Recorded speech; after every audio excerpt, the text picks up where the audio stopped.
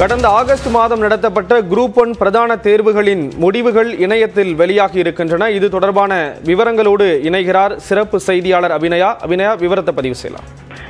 Sriram group one தேர்வுக்கான அந்த பிரதான தேர்வுக்கான முடிவுகள் வெளியாவதற்கான எதிர்பார்ப்பு தேர்வர்கள் மத்தியில் அதிகமாக இருந்து வந்தது. இந்த நிலையில் தற்பொழுது அந்த தேர்வு முடிவுகள் வெளியாக இருக்கின்றன. சற்று முன்னதாக இன்றைக்குள்ளாக தேர்வு முடிவுகள் வெளியாகும் என்ற செய்தியை நாம் வெளியிட்டிருந்தோம். அதன்படி உடனடியாகவே அந்த தேர்வு முடிவுகள் வெளியாக இருக்கின்றன. அதே போன்று நேர்காணல் இது பிரதான தேர்வு மூன்று நிலைகளை கொண்ட தேர்வு இது குரூப் ஒன் இதில் முதல்நிலை தேர்வு முடிந்து அதிலிருந்து தேர்வானவர்கள் பிரதான தேர்வு எழுதினார்கள். இதில் தேர்வாயிருப்பவர்களுடைய அந்த வரிசை எண் பட்டியல் பட்டியல் தான் தற்போது வெளியாக இருக்கிறது அவர்களுக்கான நேர்காணல் வரும் இருபத்தி ஆறிலிருந்து இருபத்தெட்டாம் தேதி வரை மூன்று நாட்களுக்கு டிஎன்பிஎஸ்சி அலுவலகத்தில் நடைபெறும் என்று தெரிவிக்கப்பட்டிருக்கிறது. அதற்கு பிறகாக இந்த தேர்வினுடைய இறுதி முடிவு என்ன என்பது தெரியவரும். யாரெல்லாம் அந்த குரூப் ஒன் பதவிகள் மொத்தமாக தொன்னூற்றி ஐந்து பணியிடங்கள் இருக்கின்றன அதற்கு தேர்வாகவர்கள் என்பது கலந்தாய்வு மூலமாக இறுதி செய்யப்படும் ஸ்ரீராம். விவரங்களை வழங்கியதற்கு நன்றி அபிநயா.